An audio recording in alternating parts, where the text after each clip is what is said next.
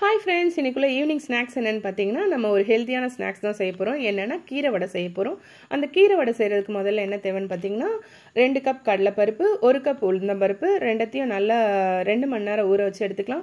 ஊற வச்ச கடலைப்பருப்பை நல்லா தண்ணி வடியை எடுத்துக்கிட்டு அதை நல்லா நைஸாக அரைக்காமல் கொஞ்சம் குறை குறைப்பாக அரைச்சி எடுத்துக்கலாம். கொ- அது கூட பார்த்தீங்கன்னா ஒரு அஞ்சு வெங்காயத்தை நல்லா பொடியாக நறுக்கி அதோட சேர்த்துக்கலாம். ஒரு கால் ஒரு கால் துண்டு இஞ்சி அதை நல்லா நசுக்கி அதோட சேர்த்துக்கலாம். ஒரு அஞ்சு பல் பூண்டு அதையும் நல்லா தட்டி அதோட கூட சேர்த்துக்கலாம். ஒரு அஞ்சு பச்சை மிளகா பொடியாக நறுக்குனது ஒரு ஸ்பூன் பெருஞ்சீரகம் ஒரு ஸ்பூன் சீரகம் ஒரு கால் ஸ்பூன் அளவுக்கு பெருங்காயத்தூள். அதோட சேர்த்துக்கலாம். பிறகு பொடியாக நறுக்குன்னு கீரை. அந்த கீரையை வந்து எந்த அளவு பொடியாக நறுக்கணும்னா அந்த அளவு பொடியாக நறுக்கி அதோட சேர்த்துக்கலாம். தேவையான அளவு உப்பு.